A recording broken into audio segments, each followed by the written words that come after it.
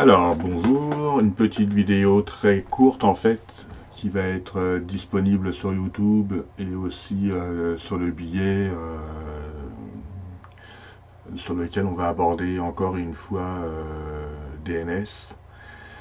puis là on va parler de deux outils, DNS Top et TCP Dump, en fait deux outils en ligne de commande qui fonctionnent merveilleusement bien.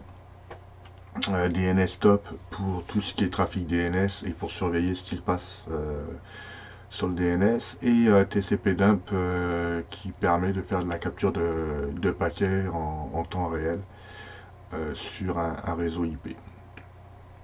Alors on a besoin de quoi pour faire ça? De deux choses, d'un terminal et d'un furteur. Donc là on a Chromium qui est ouvert. Et on a un terminal que j'ai euh, bindé à mon serveur DNS via une connexion via un tunnel SSH. Alors, on va commencer par TCP dump parce que euh, j'ai le goût de commencer par lui.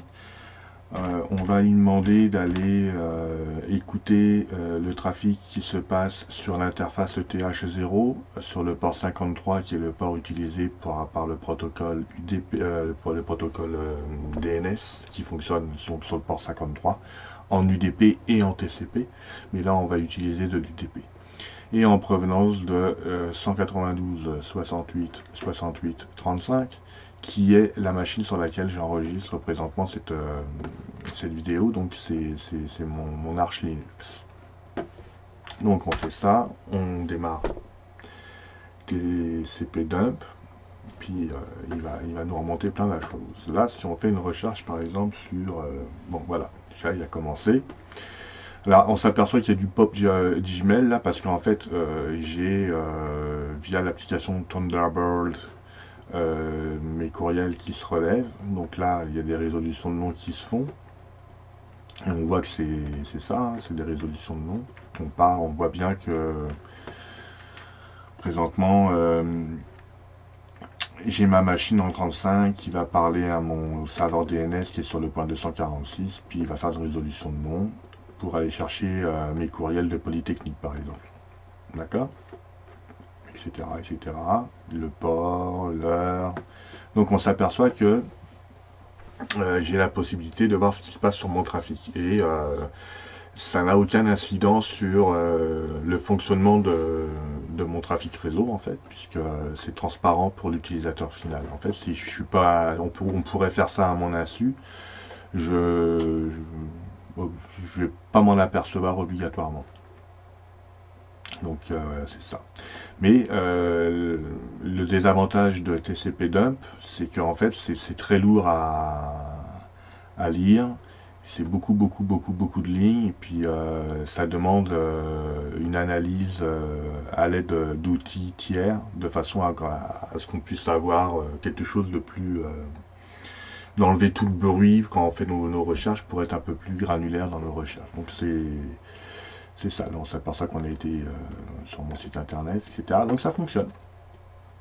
Donc on s'aperçoit aussi que euh, tout, n'est pas chiffré en fait. On arrive à avoir les adresses, tout est en clair.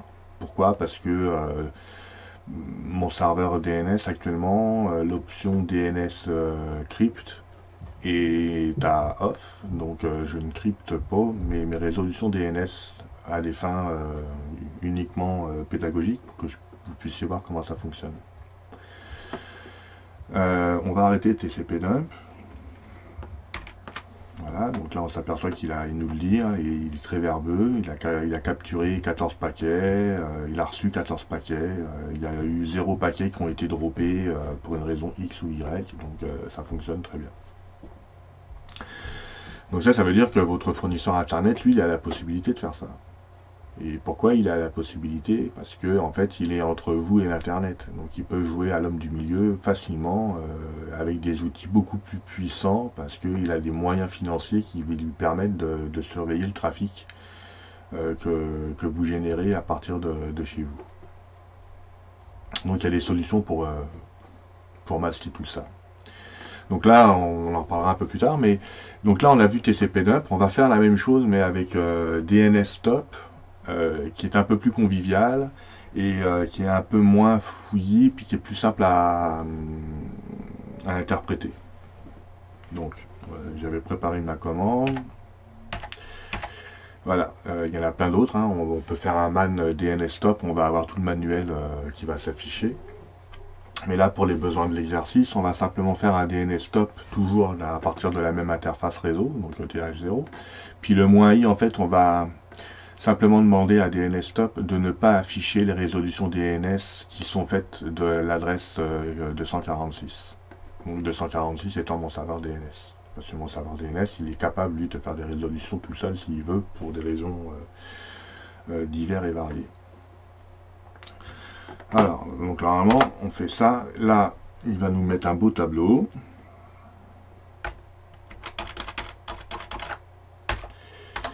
Et on va devoir voir, voilà. Donc là, on voit quoi? On voit qu'effectivement, j'ai bien mon adresse de ma machine. 35, la machine sur laquelle j'enregistre cette vidéo. Puis euh, on est bien sur Gmail. Donc il y a bien eu une résolution sur le, nom de domaine une fois, donc 100%, etc. Si je fais une recherche à côté pour aller par exemple euh, sur mon site internet, on voit qu'il euh, a fait une recherche sur Wallenberg. D'accord Bon, après, il y a des trucs euh, comme ça, là, ça, c'est... Vous ne voyez pas, moi, il n'y a rien qui s'affiche ici, mais ça, en fait, le Google Analytics, là, c'est parce que euh, Google va chercher des, des informations via sûrement du JavaScript ou quelque chose de même. Et puis après, il a la possibilité de vous afficher de la publicité. moi, ça, ça ne marchera pas ici parce que j'ai configuré mon serveur DNS de façon à, à dropper tout, tout, ce qui est publicité. Donc il euh, n'y a rien qui s'affichera en, pub. J'ai pas besoin de mettre euh, euh, des, applications tiers de façon à ce que ça filtre ma publicité. C'est fait directement à partir de mon serveur DNS. Et donc ça marche, vous voyez très bien que là, la machine 35 elle est en train de faire des résolutions DNS. Donc si je fais par exemple autre chose, je vais faire une recherche sur euh, sur mon sur Frédéric Bézi par exemple. 254 je sais pas qui c'est. Il y a une machine ici qui essaye de du Citrix du Citrix ah ouais. Étrange ouais, bon 200 ah ok. Bon donc par exemple je vais sur le, blog de Fred. Présentera plus, tout le monde connaît. Bon, bah, quand j'arrive chez Fred, on arrive bien chez Free, parce que euh, il est bien chez free.fr, euh, monsieur. Euh, par, contre, il y a plein de, trucs bizarres, de ubuntu.com, du framasphere.org, du donc il va y avoir de quoi à l'intérieur là qui pointe qui pointe sur des...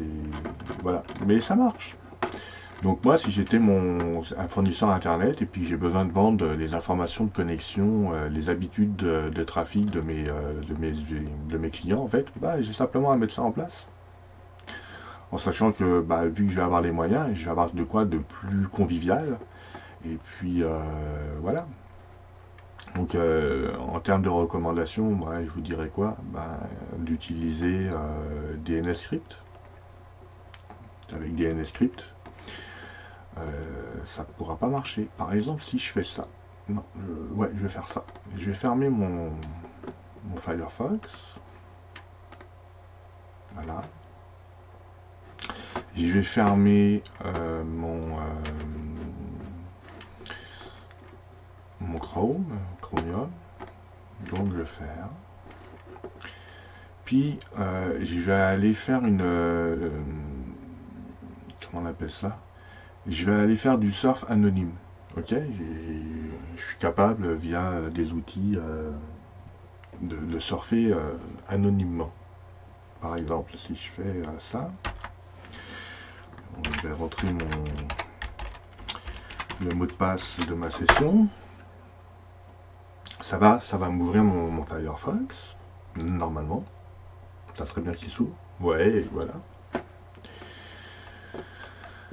Donc là, euh, c'est un Firefox, euh, un profil Firefox un peu, euh, un peu étrange parce que j'ai plein d'outils qui me permettent de faire plein de choses, mais surtout de, garder un maximum d'anonymat. Donc ça veut dire que là, si je fais un CTRL X, que je sors de là, que je fais un clear, et puis que je reviens sur mon DNS stop avec le comme tantôt, et que j'y demande de faire de la résolution. Euh, comme ça. Donc là, il résout Arch Linux. Qu'est-ce qui résout Arch Linux Ah oui, ça, ça doit être parce que je dois faire... Euh, c'est lui qui doit parler Arch Linux. Donc c'est 68.4, je sais pas qui c'est, c'est une autre machine sur mon réseau. Mais par exemple, là, si je fais un show my IP, tout le monde sait que je suis euh, au Canada et particulièrement précisément au Québec. Là, si je fais un show IP, en fait, il verra pas. Normalement, il ne devrait pas être capable de, tracer euh, ce que je suis en train de faire. Là, je le fais. Donc là, il me dit que je suis aux Pays-Bas. C'est cool. J'aime bien les Pays-Bas en plus. C'est sympa. Hein. Mais euh, ça marche. Mon show IP, il l'a pas vu. Il l'a pas tracé, d'accord En provenance de 35. Là, il y a 4, je sais pas qui c'est, c'est une tablette, euh, tablette à ma, à blonde. Mais bref, 35, là, euh, j'ai été sur Gmail, sur Arch Linux, mais pas via mon, mon furteur habituel, euh, mon Firefox. Pourquoi? Parce que j'ai pas de... J'y suis pas allé, en fait. Si j'essaye d'aller, par exemple, sur euh,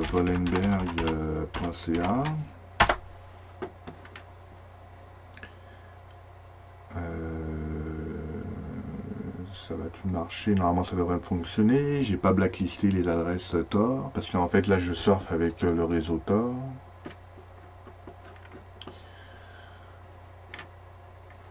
Peut-être configuré mon Wallenberg.ca pour pas qu'il parle à Tor. Non, en fait il l'a fait. Voilà, donc euh, ça fonctionne. Et il euh, n'y a rien qui apparaît. Donc euh, mon, surf était, vraiment anonyme, c'est ce que je voulais, je ne l'avais pas testé au préalable, mais ça a l'air de fonctionner. Euh, si je fais par exemple, tantôt on avait fait le blog de Fred, donc on va faire Frédéric Béziers, Béziès, je sais jamais comment on prononce ça, mais c'est pas grave. Donc là, on fait une résolution via le moteur de recherche Quant. On a bien trouvé... Euh, ah, il a un compte LinkedIn, Fred. Euh, on va aller chercher son blog. Est-ce qu'on voit son blog à quelque part? Le weblog, voilà, il est là. Et si j'y vais dessus,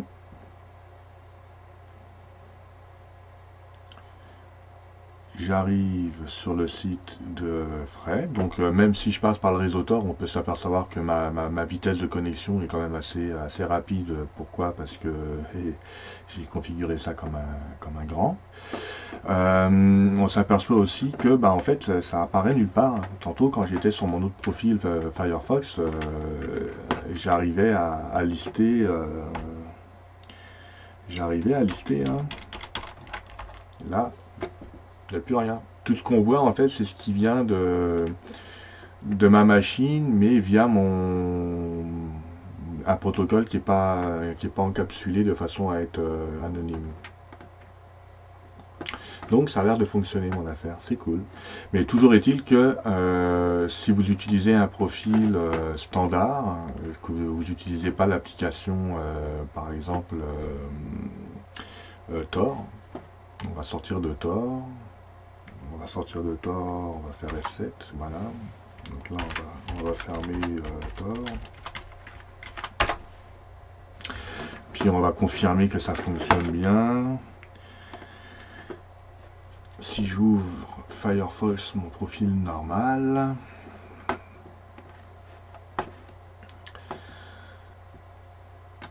Et voilà, là on s'aperçoit que euh, il, a, il va sur euh, wallenberg.ca, il ouvre pas mal de choses. Pourquoi? Parce que j'ouvre une, page euh, Google qui doit ouvrir plein de choses. J'ouvre mon, mon furteur lead. qui est en fait mon, mon, agrégateur de flux RSS. c'est ça. GoDaddy, ah ouais, GoDaddy. Donc ça fonctionne, ça fonctionne même très bien. Euh, donc après, c'est sûr que si vous voulez avoir un peu plus de confidentialité dans ce que vous faites euh, à partir de chez vous, ben c'est ça, euh, crypter vos requêtes DNS. De toute façon, c'est la meilleure chose à faire, même si vous êtes en mobilité, idéalement, mettez un serveur genre Unbound ou Bind directement sur votre machine en local et puis utilisez votre serveur DNS local pour résoudre. C'est en termes de sécurité, euh, ça évite bien, bien, bien de problèmes. Voilà, donc c'était juste ça. Je vous laisse avec ça. Puis je vous souhaite euh, une bonne fin de semaine.